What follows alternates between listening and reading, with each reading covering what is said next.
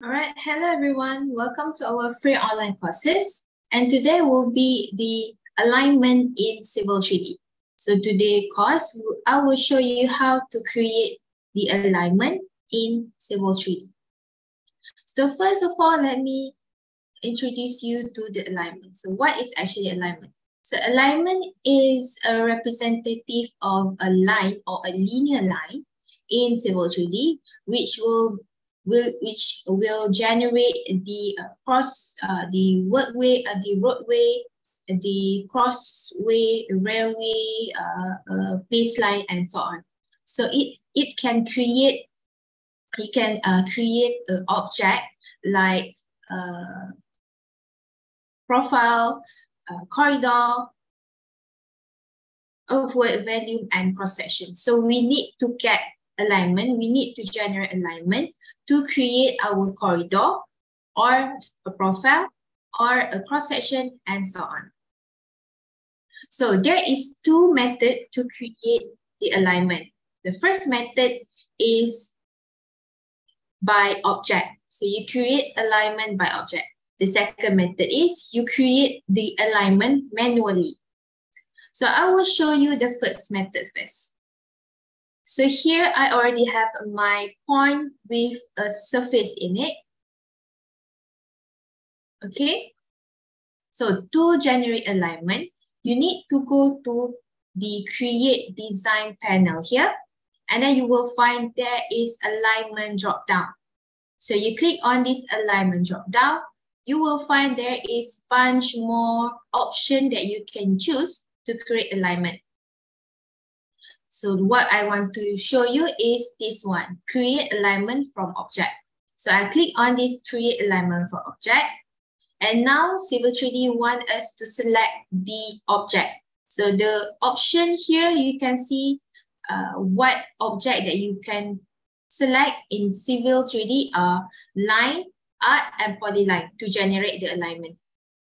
So I click on this object here. So here I already have a polyline which connected the point of CLRD. So I just simply click on this point, uh, this polyline, and I click enter at my keyboard. So it will show you the flow of your alignment. So if the arrow are showing in this way, okay, if the arrow are showing in this way, which means your zero, zero station or zero, zero point of your alignment will start from this point. So for example, you don't want the flow uh, direction in this side, in this direct direction. So you may change it by clicking this reverse button. So once you click on the reverse button, it will automatically pop up this create alignment from object box. So here is the setting for your alignment. First, you may add the name of your alignment. For example, this one is CLRD alignment. And then here is the general setting. You may set the site for your uh, alignment. And then the uh, if there is alignment, uh, if there is a site there, and then you may set the alignment style. For now, I'm using the purpose. So if you don't want to choose uh, purpose style for the alignment, you may click this drop down and then you can find there is more selection that you can use. For example, existing, basic, and so on. And here is the alignment label set. So currently, it's set as no label, which means if I click on OK and generate your uh, generate my alignment, there will be no level at all. So uh, you may set the level now or after you create alignment afterward. So if you want to set now, you can you can just click on this drop down label set and you will find there is an option that you can choose. There is major and minor only, uh, major minor and geomet geometry point, all levels. So you may choose this one. So now I just going to select on no labels. And here is the setting for the curve in your alignment, conversion option. So if you want your alignment have curve, uh, just not a straight line, So you need to check on this add curve between tangent, this one. And then you can uh, assign the radius for the curve. So right, right now, the default radius is 200. So you may change it to a bigger, bigger value, 500 meter, 100 meter, or a smaller value. Okay, if you don't want, you can just uncheck on that. So the last thing you need to do is check on this erase existing entities, which means it will change your object or your polyline just now to alignment. So if you don't want it to change, you may uncheck on this one, which means there will be, there, uh, which means Civil 3D still generate your alignment, but the polyline will be, uh, will, will uh, be there, will still be there. So I don't want to change, I don't want to, I don't want the, the polyline uh, still there. So I want to change the polyline to alignment. So I need to check on this erase existing entities. Okay, so and next uh, for the setting is the design criteria. This may be the design for the speed and then for the criteria design, this is more advanced for the uh, setting. So the speed here is 100 km per, km per hour. So you may change to 110, 150. It's up to you. And then I click on OK.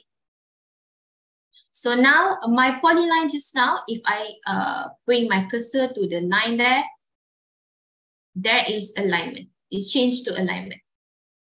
Okay, how I add the label uh, now? So you may see this is just a simple line, but that there is alignment. So I want to add the label right now. So to click to, uh, to add the label in the alignment, so you may just click on the alignment there. And then this panel or tab for the alignment will pop up. There is so much editing you can use to edit alignment, to generate the profile, and so on. So to add label, you may go to this first box here or first button here, add label. And then you click on the drop down. And then there are few, uh, there are a few selection of label that you may add in your alignment. For example, I want to add the label for major station and minor station. So I just click on this add and edit station label.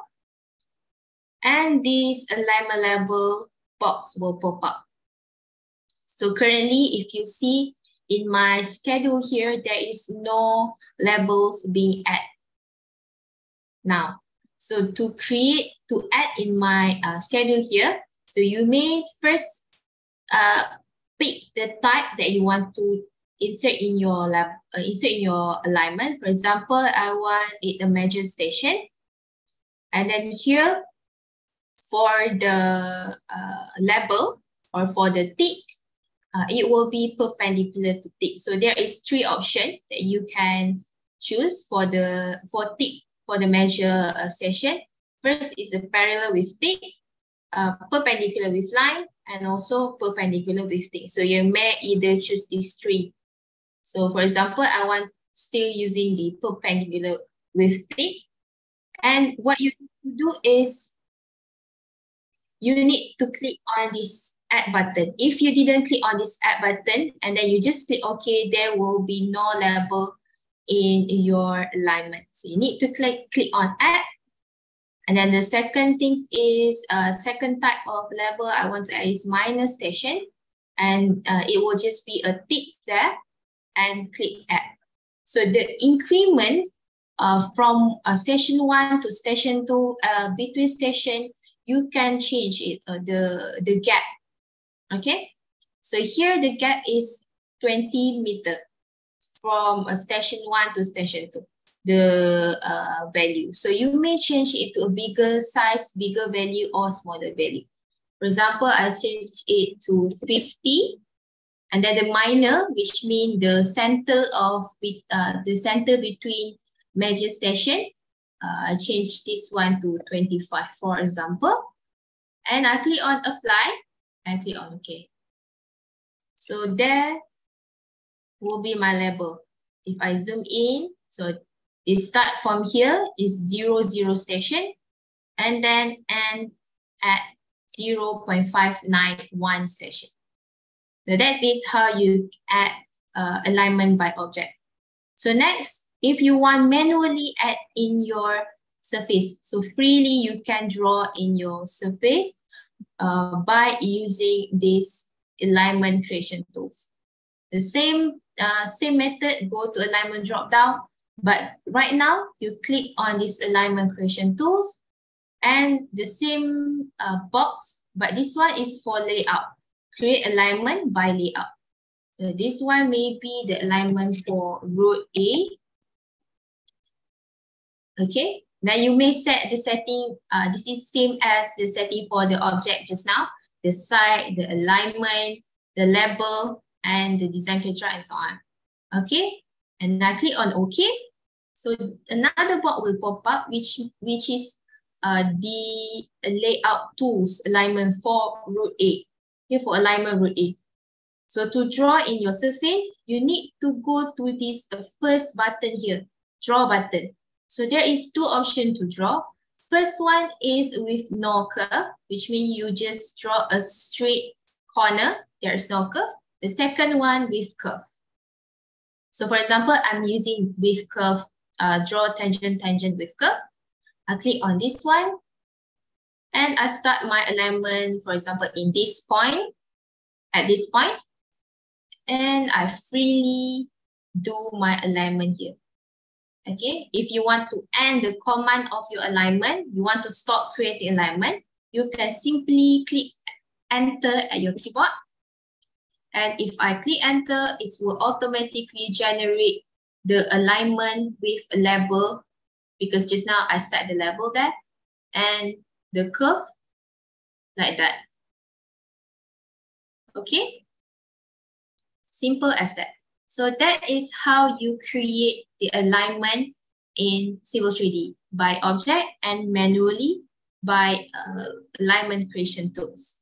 So that's all for our today courses. And uh, thank you for joining me and thank you for your concentration. See you in our next pre-online courses. Bye-bye.